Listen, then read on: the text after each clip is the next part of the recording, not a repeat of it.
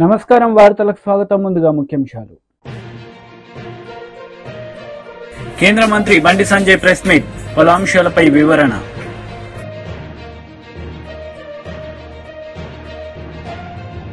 YCP leader మెరుగు Nagarjuna press meet.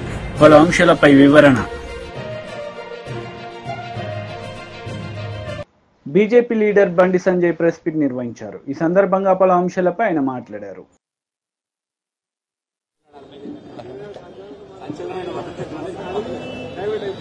ఇక మీకు అదే సంచలనం ఇవాళ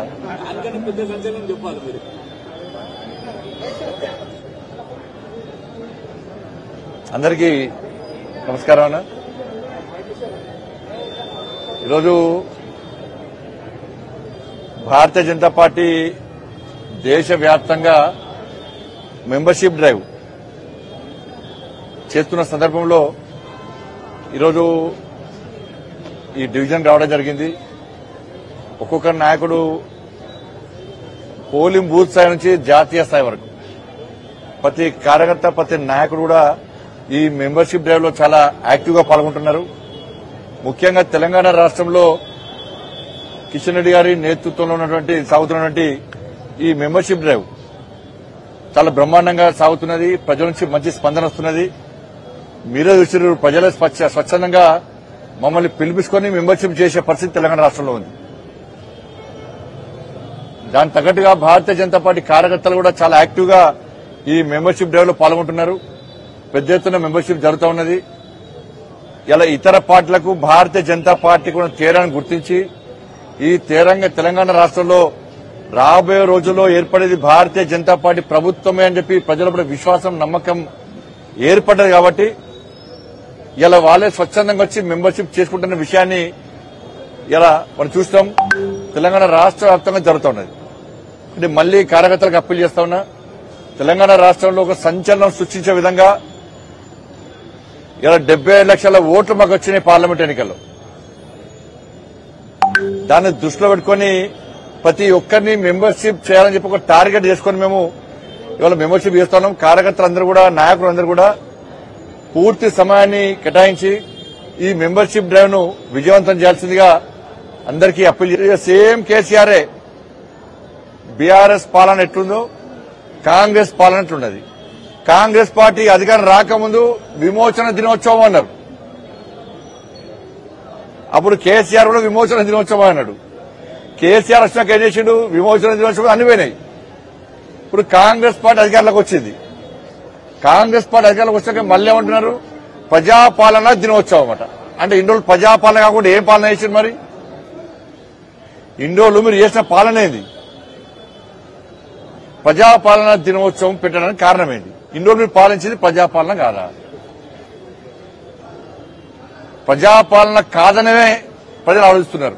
అందుకే ప్రజల ఆలోచన దృష్టిలో ఉంచుకునే ప్రజలు కాంగ్రెస్ పార్టీకి వ్యతిరేకంగా ఉన్న విషయాన్ని గుర్తించే ఇప్పటి నుంచి ప్రజాపాలన దినోత్సవంగా మీరు ప్రకటించుకున్నారు వాస్తవం. ఇవాళ రైతులకు రుణమాఫీ ఇస్తా అని చెప్పి రైతు భరోసా ఇస్తా అని చెప్పి బోనస్ ఇస్తా అని చెప్పి ఇవ్వకుండా రుణమాఫీ సరిగా వేయకుండా రైతులను నడ్డి విరిచే విధంగా రైతులు నట్టెట్లా ముంచే విధంగా చేయడమే ప్రజాపాలన. ఉద్యోగాలు నోటిఫికేషన్ ఇచ్చి నిరుద్యోగులకు ఉద్యోగ ఉపాధి అవకాశం కల్పిస్తా అని చెప్పి మోసం చేయడమే ప్రజాపాలన. ఉద్యోగులకు ఐదు డిఎల్ ఇస్తామన్నారు పిఆర్సీ ప్రకటిస్తామన్నారు. ప్రమోషన్లు ఇస్తామన్నారు. అది ఇయ్యలే. ఇట్లా మోసం చేయడమేమి ప్రజాపాలన. ఇవాళ ఆరు గ్యారంటీలు ఇస్తా అని చెప్పి మోసం చేసి పట్టించుకోకుండా ప్రజల దృష్టి మళ్ళించడానికి మీ నక్కచిత్తుల వేషాలు వేయడమే ప్రజాపాలన. అంతెందుకనగా కుక్కలు కడుతున్నాయి రోడ్డు మీద కుక్కలు పసిపిల్లలను చంపుతున్నాయి. పెద్దోళ్ళని కడుతున్నాయి ఇంకా కుక్కలు కూడా కంట్రోల్ చేయలేని పాలన మీ ప్రజాపాలన చెప్పండి. ఏంది ప్రజాపాలన అంటే? ప్రజల దృష్టి మళ్ళించడమే ఆరు గ్యారంటీ విషయంలో ప్రజల దృష్టి మళ్ళించడమే మీ ప్రజాపాలన. దాంతో హైడ్రామా హైడ్రా పేరుతో హైడ్రామా హైడ్రా పేరుతో హైడ్రామా సాక్షాత్తు రాష్ట్ర ముఖ్యమంత్రి గారే అంటున్నారు. మీరు కూల్చుకుంటారా? మనం కూల్ చేయమంటారా? ముఖ్యమంత్రి స్థాయిలో మాట్లాడాల్సిన మాటలు కావు ఇవి. ఎందుకు కూల్చుతారు? ఎందుకు కూల్చుకోవాలి? మేము హైడ్రాకు వ్యతిరేకం కాదు. ప్రభుత్వ భూములను కబ్జా చేయడము చెరువులను కబ్జా చేయడమే వ్యతిరేకం దాన్ని. కానీ పర్మిషన్ ఇచ్చిన వాళ్ళ మీద ఒకటే అన్న ఇల్లు కట్టుకునే ముందు జాగా కొనుక్కునే ముందు డాక్యుమెంట్ చూస్తాం. ఉన్నాయి. లింక్ డాక్యుమెంట్ చూస్తాం. ఉన్నాయి. గ్రామ పంచాయతీ కార్పొరేషన్ మున్సిపల్ పర్మిషన్ ఇచ్చారు తీసుకున్నారు. వైసీపీ లీడర్ మెరుగు నాగార్జున మీడియా సమావేశం నిర్వహించారు. ఈ సందర్భంగా పలు అంశాలపై ఆయన వివరణ ఇచ్చారు. ఆంధ్రప్రదేశ్లో ఒక దళిత పార్లమెంట్ సభ్యుడు జైల్లోకి వెళ్తే ఆయనను పరామర్శిస్తే తప్ప అంటే మేము జైల్లో ఉంటే మీకు ఆనందం. మమ్మల్ని పరామర్శిస్తే మీకు తేలిక భావన. ఇంతకుముందు ఎన్నడూ ఎవరు వెళ్ళలేదా చంద్రబాబు నాయుడు గారు మీరు వెళ్ళలేదా అంటే పేదవాడిని పలకరించడానికి మనోధైర్యం కల్పిస్తానికి జగన్మోహన్ రెడ్డి గారు వెళ్తే మీరు ఇష్టం వచ్చినట్టు మాట్లాడటం మీకు తగునా అని అడుగుతా ఉన్నా. ఇది ఎక్కడైనా ఉందా ఈ సాంప్రదాయం? మీరు ఏనాడు ఎల్లరు మీరు పలకరించరు. దళితులంటే తేలిక స్వభావం. జగన్మోహన్ రెడ్డి గారు బాధ్యతాయుతంగా వెళ్ళారు. చంద్రబాబు నాయుడు గారు అయితే వెళ్తాడు. వాళ్ళకు సంబంధించిన వాళ్ళు. ఎంతమంది జైల్లోకి వెళ్తే వెళ్ళారో తెలియదా అంటే మీరు ఇంకా ఇప్పటికి కూడా అస్పృశ్యత అంటరానితనాన్ని వేలెత్తి చూపిస్తా ఉన్నారని చెప్పడానికి ఇంతకన్నా ఉదాహరణ ఏముందని అడుగుతా ఉన్నా. మీరేమో పట్టించుకోరు. మీరేమో దాడులు చేయిస్తారు. మీరేమో అఘాయిత్యాలు చేయిస్తారు. మీరేమో అమానుషాలు చేయిస్తారు. చివరికి మా చట్టాలను చుట్టాలు గారు వాడుకుంటారు. కానీ మా నాయకుడిని పలకరిస్తాకెళ్తే ఇంత గావు కేకలు పెట్టడం ఇది చరిత్ర క్షమించదని మీకు తెలియపరుస్తా ఉన్నా. అణగారిన కులాలలో పైకొచ్చి రాజకీయాల్లో పైకొచ్చి ఒక పార్లమెంట్ సభ్యుడిగా పనిచేసిన వ్యక్తి కోసం మీరు ఇంత రాద్ధాంతం చేస్తూ ఉన్నారంటే నీతి ఎక్కడుందని అడుగుతా ఉన్నా. ఇకపోతే వరదలు వచ్చినాయి. వరదలు వస్తేనో అదే తంతు. బోట్లు కొట్టుకొచ్చినాయి అంట. బోట్లో వైఎస్ఆర్ కాంగ్రెస్ పార్టీ వాళ్ళు చేయించారని ఒక కథ లేరే. నేను అడుగుతా ఉన్నా ఎన్ని బోట్లు కొట్టుకొచ్చినాయి?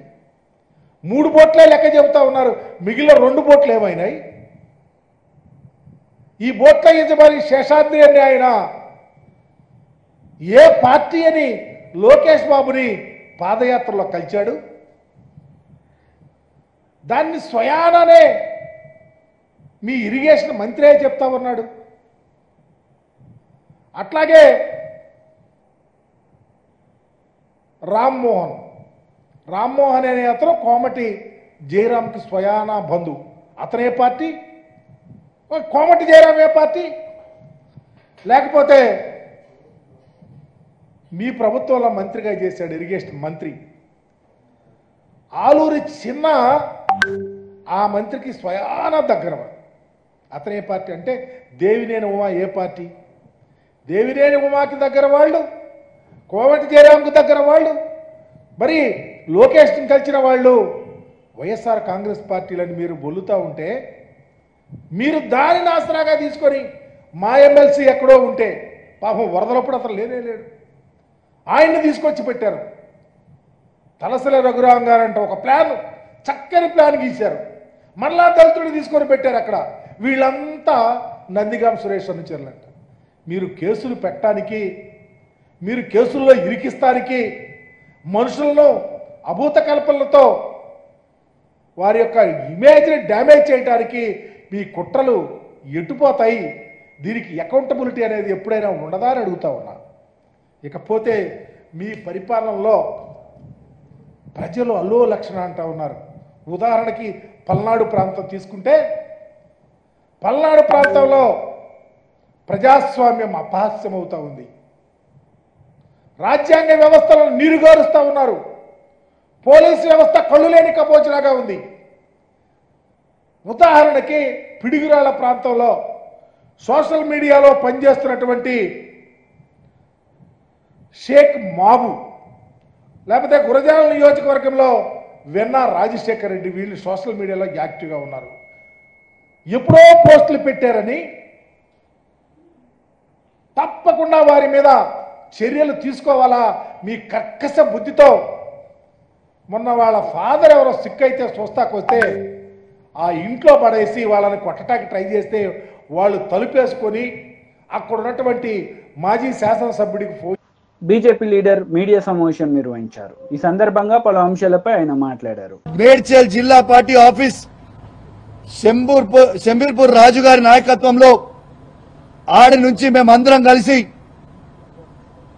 వేలాది మంది కార్యకర్తలు అందరం కూడా మన బీఆర్ఎస్ పార్టీ ఎమ్మెల్యే గాంధీ గారి ఇంటికి పోదామని చెప్పి సందర్భంగా తెలియజేస్తా ఉన్నాను.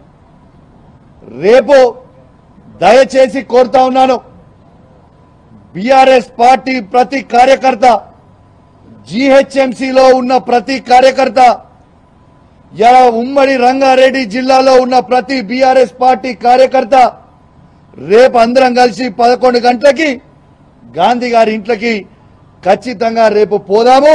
ఆడ బ్రేక్ఫాస్ట్ తిందాము ఆడ లంచ్ తిందాము. గాంధీ గారు కండువ కప్పుకున్న తర్వాత గాంధీ గారిని తీసుకొని తెలంగాణ భవన్కి పోయి ప్రెస్ మీట్ పెట్టి అక్కడి నుంచి గాంధీ గారిని కేసీఆర్ గారి దగ్గరికి తీసుకొని పోదాం. స్వాగతం పలుకుదాం. స్వాగతం పలుకుదాం. దయచేసి కేసీఆర్ గారి మీద ఉన్న అభిమానం ఉన్న ప్రతి కార్యకర్త కేటీఆర్ గారి మీద అభిమానం ఉన్న ప్రతి కార్యకర్త హరీష్ రావు గారి మీద అభిమానం ఉన్న ప్రతి కార్యకర్త అందరం కూడా పెద్ద ఎత్తున రేపాడికి పోదామని చెప్పి సందర్భంగా తెలియజేస్తా ఉన్నాను. రేపు పదకొండు గంటలకి ఖచ్చితంగా లెవెన్ ఓ క్లాక్కి మేము రేపు శంబూర్పూర్ రాజు మన మేడ్చల్ పార్టీ ఆఫీస్ దగ్గర నుంచి స్టార్ట్ అవుతాం. ఆయన ఇల్లు అదే జిల్లా కిందికి వస్తుంది. ఆడికే పోదాం. ఆడి నుంచి అందరం కలిసి ఆ ఇంటికి పోయి స్వాగతం పలుకుదాం. మళ్ళీ ఏమంటాడు? బీఆర్ఎస్ పార్టీతో ఆయన పంచాయతీ కాదట. కౌశిక్ రెడ్డితోనే నాకు పంచాయతీ అట నీకు నాకేమైనా భూమి తగాదాలు ఉన్నాయా? నీకు నాకేమైనా అన్నదమ్ముల పంచాయతీలు ఉన్నాయా? ఎస్ నేను అడిగింది ఏంది? నువ్వు చెప్పే జవాబు ఏంటిది? నువ్వు మాట్లాడేది ఏంటిది?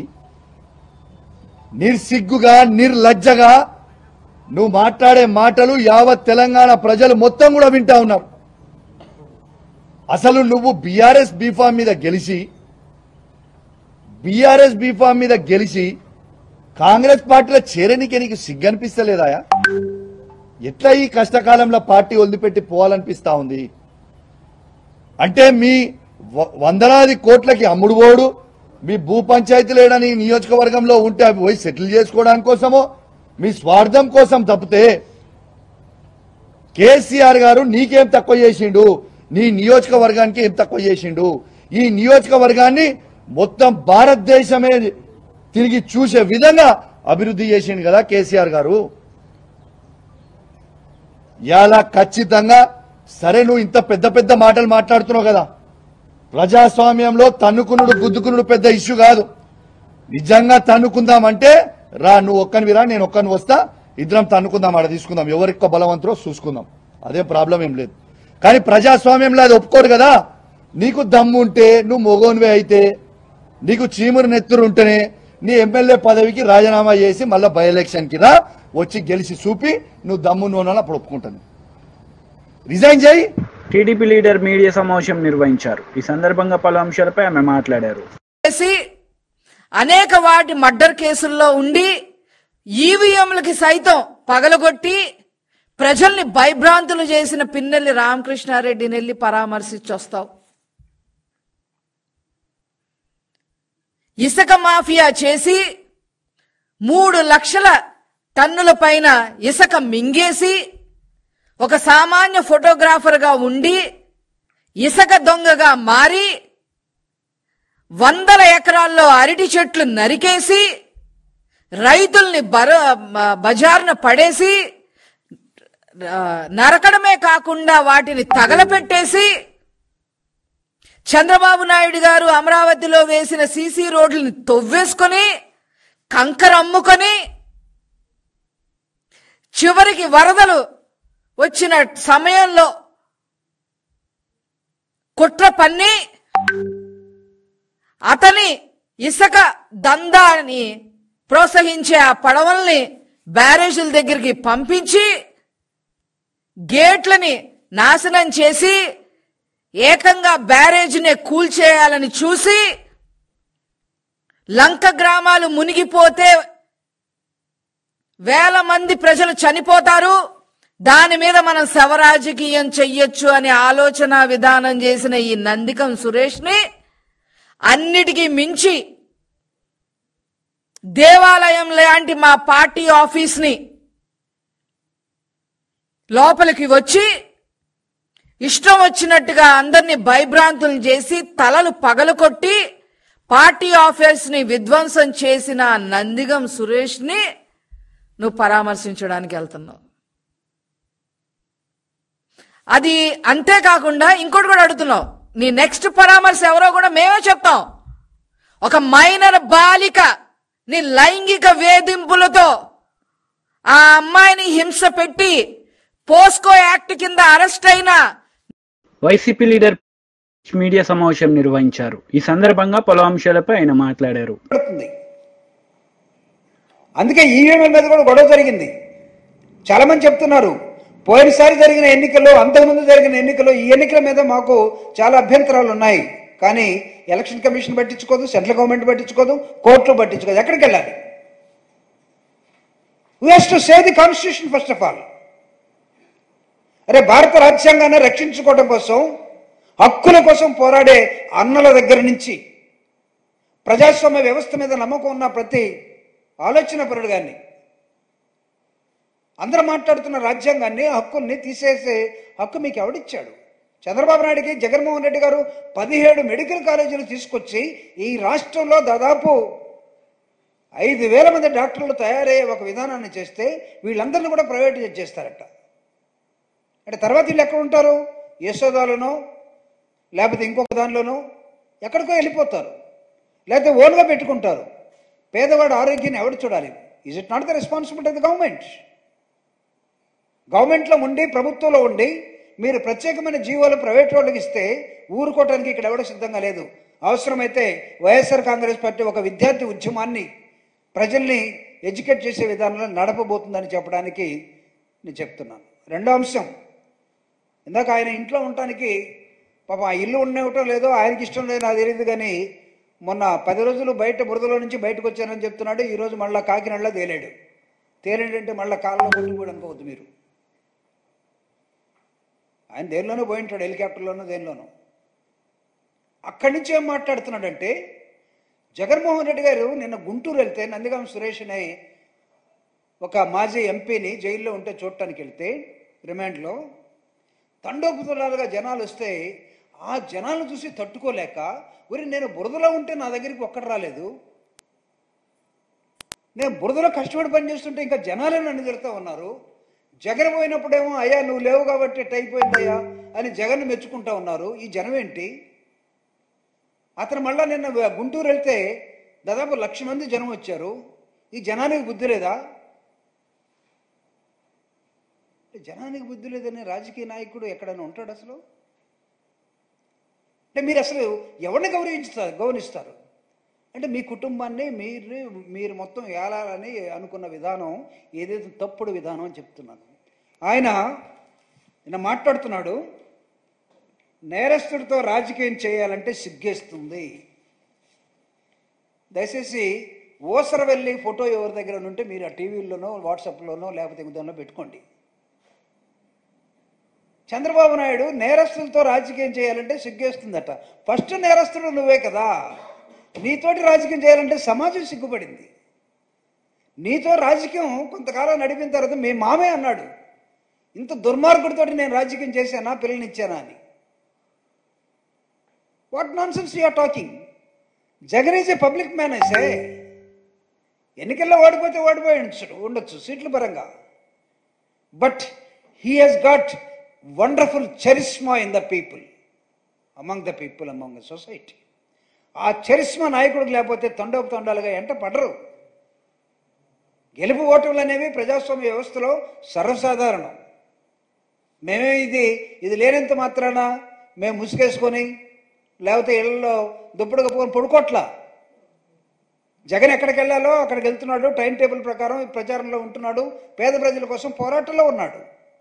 It is one of the important element in the democracy మీరు ఓడిపోతే ఎటు కనపడరు. ఈ మధ్య ఒక రెడ్ బుక్ అనేది ఒక తీసుకొచ్చారు. అసలు దానిలో ఏం హక్కులు ఉంటాయో తెలియదు రెడ్ బుక్లో ఎవడికన్నా హక్కులు ఉంటాయా లేదా?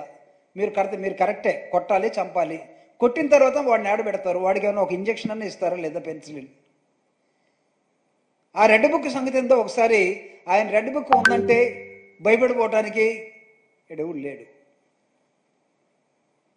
మీరు అనొచ్చేమో కొంతమంది మీ వాళ్ళు పార్టీ వాళ్ళు ఇంపార్టెంట్ వాళ్ళు కనపడకుండా పారిపోయారు కానీ మా హక్కుల్ని ఉపయోగించుకోవటం కోసం కాంగ్రెస్ నేతలు మీడియా సమావేశం నిర్వహించారు. ఈ సందర్భంగా పలు అంశాలపై వారు మాట్లాడారు. పడాలి అన్నట్టుగా మేనిఫెస్టోలోనే ప్రస్తావించారు మరి ఇక్కడ అలాంటి ఏదున్న రాజ్యాంగ పరంగా ఏవైతే నిర్దిష్టమైన ఆదేశాలనో దాని ప్రకారం నడుచుకుంటాం.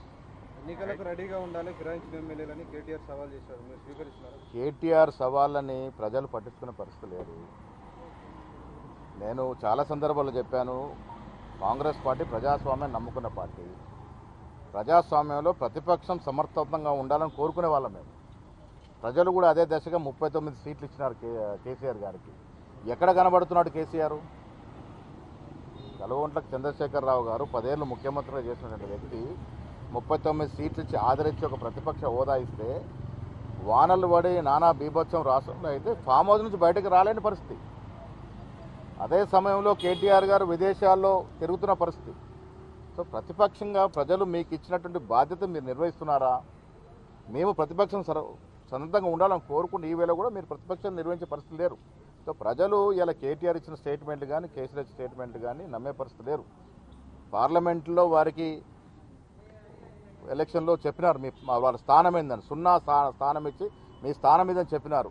ఇంకా తెలంగాణ రాష్ట్రంలో బీఆర్ఎస్ పార్టీ గతంలో టీఆర్ఎస్ పార్టీ మనగడ సాగిస్తుందని నేను అనుకోవట్లేదు. తెలంగాణ హైకోర్టు ఆదేశాల తర్వాత డెఫినెట్గా నాయకత్వం నాయకుడు నమ్ముకున్న నాయకుడు సరైన మార్గం నడినప్పుడు ఆ వ్యక్తులు వేరే నాయకత్వం వైపు చూస్తారు.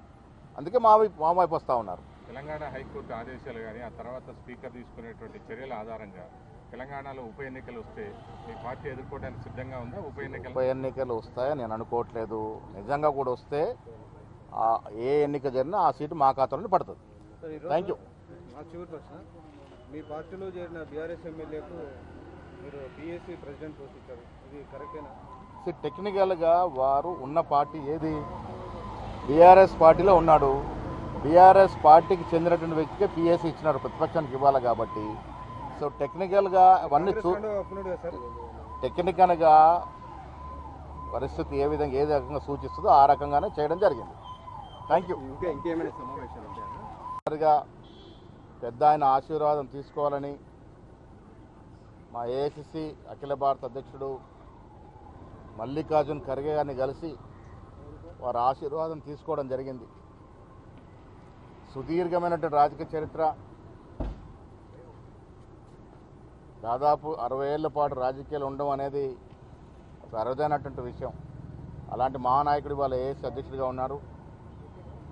ఆయన కలిసినప్పుడు మనస్ఫూర్తిగా ఆశీర్వాదం ఇవ్వడమే కాకుండా ఇదొక చక్కటి అవకాశం అన్ని వర్గాల వారిని కలుపుకొని వార్తలు ముగించే ముందు ముఖ్యాంశాలు మరోసారి. కేంద్ర మంత్రి బండి సంజయ్ ప్రెస్ మీట్. పలు అంశాలపై వివరణ.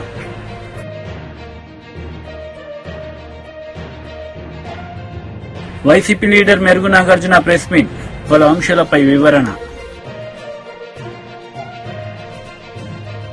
ఈ వార్తలు ఇంతటితో సమాప్తం. తిరిగి ప్రసారమయ్యే వార్తలు మళ్ళీ కలుద్దాం. అంతవరకు సెలవు. నమస్తే.